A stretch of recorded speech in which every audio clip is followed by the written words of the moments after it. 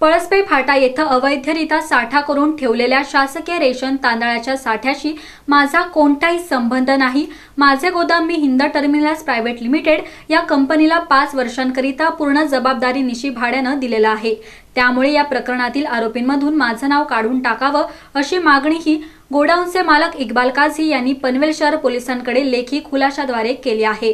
दरम्यान इक्बाल काझी हे पनवेल परिसरातील प्रसिद्ध उद्योजक असून त्यांच्याकडून अशा प्रकारे कोणतीही चुकीची कृती होणार नाही अशी खात्री पनवेल परिसरातील अनेक जण व्यक्त करत आहेत. पळसपे फाटा येथं अवैधरित्या साठा करून ठेवलेल्या शासकीय रेशन तांदळाच्या साठ्याशी माझा कोणताही संबंध नाही. माझे गोदाम मी हिंद टर्मिनल्स प्रायव्हेट लिमिटेड या कंपनीला पाच वर्षांकरिता पूर्ण जबाबदारीनिशी भाड्यानं दिलेला आहे. त्यामुळे या प्रकरणातील आरोपींमधून माझं नाव काढून टाकावं अशी मागणी Take Care Logistic Park India Private Limited कंपनीचे मालक इक्बाल काझी यांनी पनवेल शहर पोलिसांकडे लेखी खुलाशाद्वारे केली आहे. दरम्यान इक्बाल काझी हे पनवेल परिसरातील प्रसिद्ध उद्योजक असून त्यांच्याकडून अशा प्रकारे कोणतीही चुकीची कृती होणार नाही अशी खात्री पनवेल परिसरातील अनेक जण व्यक्त करत आहेत.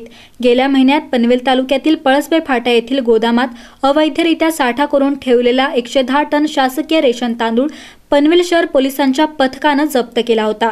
यामध्ये आरोपी म्हणून Take Care Logistic Park India Private Limited कंपनीचे मालक आणि पनवेलमधील प्रथित यश नागरिक इक्बाल काझी यांचे नाव समाविष्ट करण्यात आले. या संदर्भात त्यांनी पनवेल शहर पोलीस ठाण्याचे सहाय्यक निरीक्षक निलेश राजपूत यांना लेखी खुलासा सादर केलाय.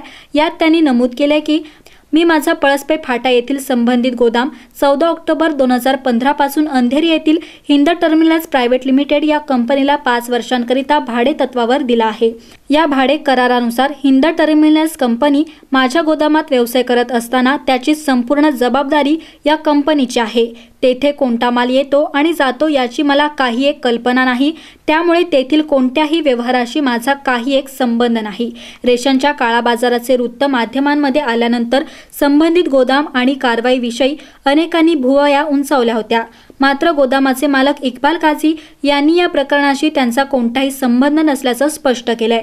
या प्रकरणाचा योग्य तपास पूर्ण झाल्यानंतर त्यांचं नाव आरोपींमधून काढून टाकण्यात येईल असं पोलिसांनी सांगितल्याचं खात्रीलायक सूत्रांकडून कळतंय. इक्बाल खाझी हे पनवेल एज्युकेशन सोसायटीचे चेअरमन असून मोठ्या विश्वासानं पनवेलमधील या संस्थेच्या सदस्यांनी त्यांना संचालकपदी म्हणून निवडून दिलं आहे. ही जबाबदारी स्वीकारताना त्यांनी स्वतःचे लाखो रुपये खर्च करून विद्यार्थ्यांना दर्जेदार शिक्षण उपलब्ध करून देण्याचा तसेच संस्थेचा कायापलट करण्याचा चंग बांधलाय. त्यामुळे रेशन काळा बाजार प्रकरणात त्यांचं नाव गोवण्याचा प्रकार झाल्यानं नागरिकांमध्ये चर्चा झाली होती. मात्र पोलिसांकडून त्यांचं नाव आरोपींमधून काढून टाकण्यात येणार असल्यानं या सर्व चर्चांना आता पूर्णविराम मिळाला आहे.